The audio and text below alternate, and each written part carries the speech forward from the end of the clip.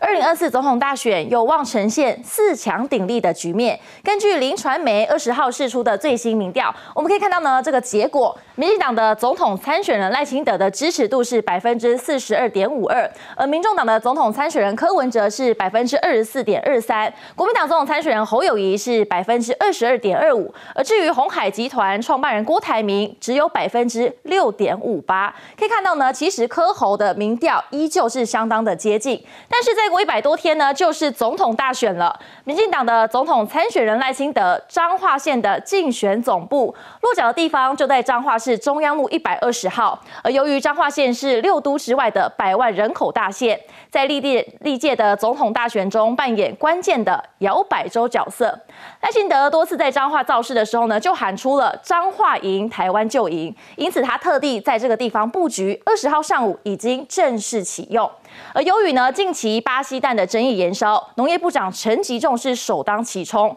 也传出了相关的争议，恐怕会波及到赖清德的选情。另外呢，柯文哲呢可能会被影响到的地方呢，是先前他被爆出了新竹老家有违建，而柯妈妈在十六号的时候呢，已经自请拆除工人来拆除违建。另外呢，侯友的部分呢，他其实呢，主要的是出访美国时呢，他也特别有回应了国内的进口蛋争议，但最后呢，看到了郭台铭，根据最新统计，他是所有总统的参选人当中声量最高的，总计呢是来到了二十五万多笔，而声量的最高点呢，就出现在了九月十四号，也就是郭台铭宣布副手人选的这一天，声量高达了十万多笔。而另外呢，其实国民党主席朱立伦也透露了国民党内的民调。我们可以看到呢，侯友谊他表示了跟柯文哲是相当的接近，略微领先，保持第二。他们也试着做一对一的民调，无论是侯友谊还是柯文哲，他们表示都稳定的领先赖清德。